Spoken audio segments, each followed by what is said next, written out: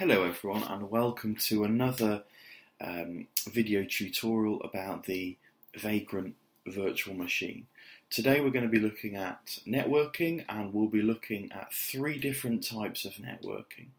So we have the port forwarding approach, we'll have the dynamic IP address setup and also the static IP address setup. So the first one, uh, the port forwarding, is essentially when you will use your host host machine's uh, IP address and use the a port from that to go directly to a port within the virtual machine. The second one will be the dynamic IP address. So your DHCP server or router will give a uh, free IP address to the machine automatically. And the third option, the static IP address, that's where we will actually set the IP address we want in the configuration. And as long as there are no other networks on the device um, using that IP address, then there won't be any conflict and uh, it'll be good to go. So I'm just going to jump into the video now. Thanks for watching. So I'm just starting off with an empty directory, as you can see here. And what we're going to do uh, for the first command is run the vagrant init, which will uh, initialize and create the vagrant file, which is where all our configuration lives.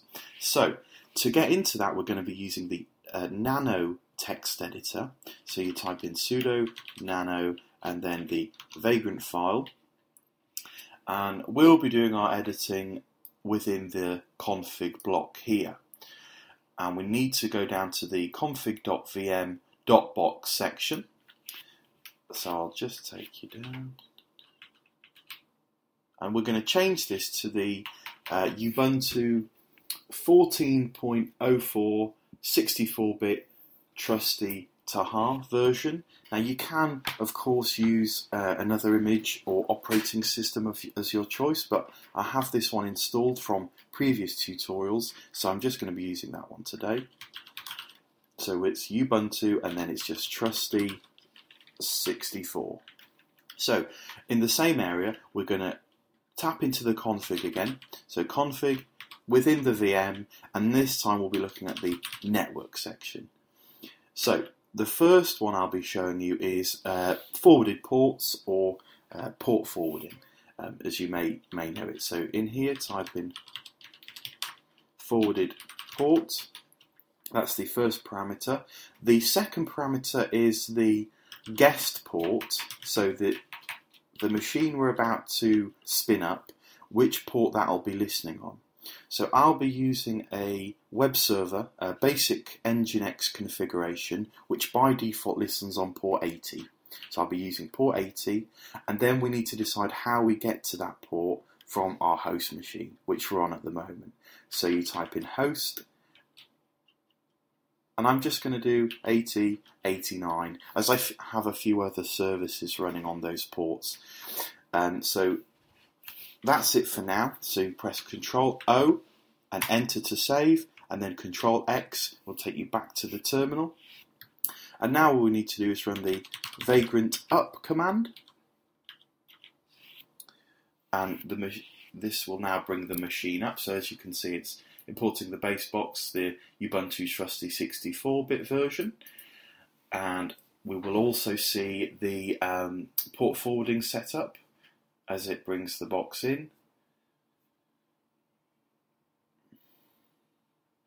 So under the uh, forwarding port section, we have our 80 to 89, and you can also see there's a 22 here to 2222, which, as I'm sure you'll know, is uh, SSH, which you can see down here. So that's just a default one that, that comes with the box, so you can SSH in once it's configured. Okay, brilliant. So now that's up and running, what we're going to do is we're going to jump into the box, and I'm going to inst I'm going to install um, Nginx. So we've got something to look at. Okay, fantastic. So all we need to do is sudo apt-get install minus y nginx. and this will just install Nginx. It will start the service running on port 80, which is perfect for what we need. So we're just going to uh, exit out of that, back into our terminal, and now what we're going to do is we're going to do the sensible browser command. I'm going to go to HTTP localhost, and I'm going to be going to port 8089. And what this will now do is this will open our browser, and as you can see, it's uh, localhost port 8089 welcome to Nginx. So that's your first networking option. Now there are a few disadvantages to this because if you have multiple services running, um, you know, you could soon run out of ports or it could cause issues, that kind of thing. So I'm actually going to show you a the second option. And what this option will be is um, an IP address. So we won't be forwarding ports, we'll actually be giving the machine itself an IP address um, that we can access through the browser. So we need to go back into our Vagrant file and here what we're going to do is we're just going to delete this network uh, config one or the parameters, sorry. And now what we're going to be doing is changing the first parameter to private network. And this time the second parameter we're going to be putting is as the uh, DHCP. So what this does is this will ask your sort of DHCP server, which is normally um, within the router, for an IP address that ha that uh, that hasn't been taken by any other machines on the network. So that's all we have to do, and again we just have to do Control O and enter to save, and then Control X. And because the Vagrant machine is running, what we can do is we can run the Vagrant reload command. That will bring the machine down or halt the machine, and then it will refresh the configuration and then run the Vagrant up again. So as you can see here, it's clearing any previously set forwarded ports, um, and then within the forwarded ports block, we've only got the default SSH here. And we'll just wait for that to load up. And then we'll still have the Nginx server running. So again, we can run the, the sensible browser command uh, Well, actually, sorry, first of all, what we need to do is we need to jump back into the box to get the IP address that is being given from the DHCP server. So I'm going to do vagrant SSH into the machine and what we can do is now if we run if config now this will be different if you're not on a Ubuntu machine but essentially you need to get the networking information so what we're looking for is the Ether1 and we want the INET address, which is its, is its IP address.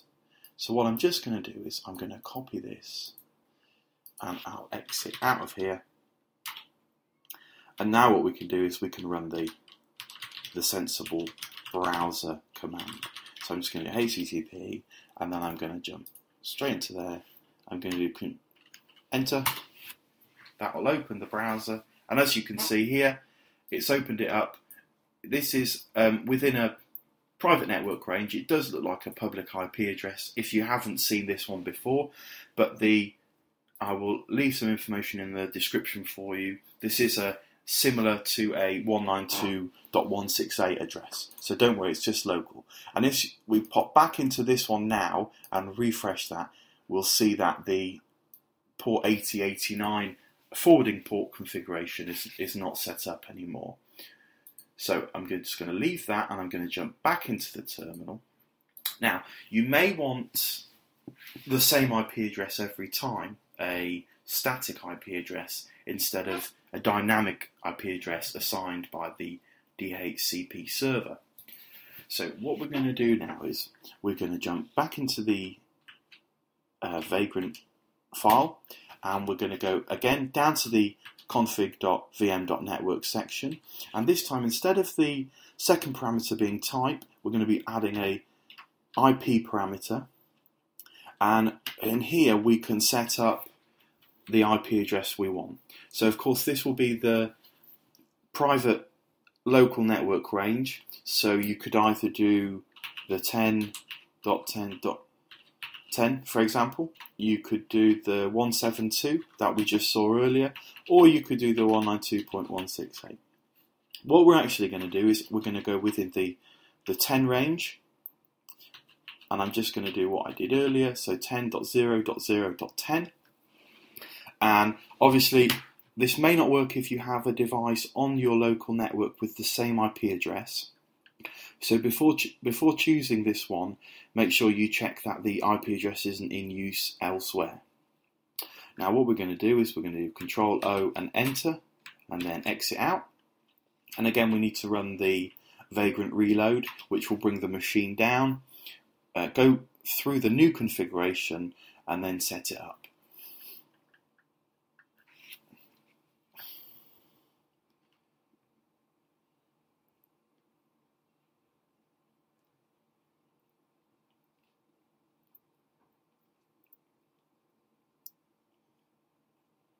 And then of course we'll be running our sensible uh, browser command which I'm enjoying at the moment. So we're going to just pop back up to that. And then as remember we have the 10.0.0.10 run that command. That will open our default browser on the system. And as you can see here we are now set to that IP address. And if I go back to the 172 that we were assigned by the DHCP server earlier on, and I refresh that, it will take a few seconds, but you'll then notice that that is actually not running either, as before with the forwarded ports. So Vagrant has now gone back through the config file, the Vagrant file, and it's made any changes. So that's it's not available. This is fantastic. So we're back onto this one. Now what I'm going to do is I'm going to show you one more thing, and that is how to have um, a sort of host name. So instead of remembering the IP address, you may have you know multiple machines, as I have set up in my previous tutorial, which I'll put a link in the description. So to make life easier, we're going to just we're going to again use our nano text editor, and we're going to jump into the host file. So it's on Ubuntu, it's ect slash hosts. Now, as you'll see here, I actually have this one set up already. So it's the 10.0.0.10 and that's vagrant.test. So what that means is when you type that into your browser, it will check the host file first, and it will it will see this, and then it will go straight to that IP address. So I'm just going to press Control and Exit to get out of that because we haven't made any changes, and we can run the Sensible Browser command again, and it's vagrant.test. And here we go.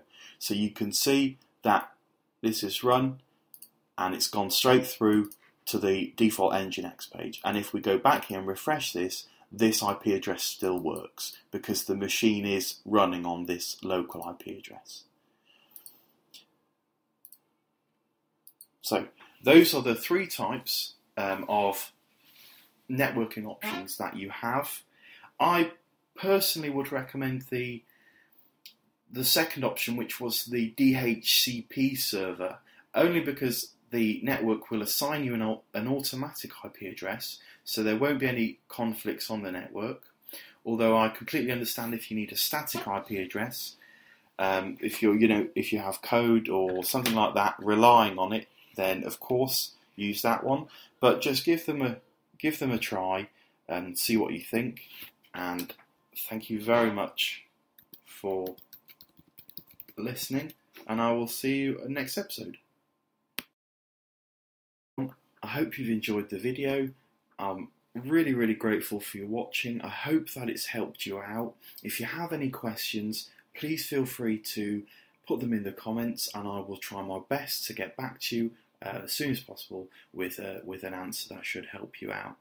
Now, I am making these videos um, to help people with Vagrant, and in the future we'll be look, I'll be looking at other stuff as well. But if you have any constructive criticism or any any tips you'd like to share with me, then I am still new to this uh, video game, so um, making videos. Sorry, please you know please let me know in the comments. I'd I'd be really really grateful to hear what you think, and and also if if the videos are actually helping you, then please you know like or subscribe, tell your friends, um, because I think Vagrant is such a fantastic development tool. Um, I really want to get people using it. It's helped me so much, and I feel it could help other people as well. So again, I'm really, really grateful for you guys for watching uh, and and getting this far. And I'll, I'll, I'll see you in the the next episode.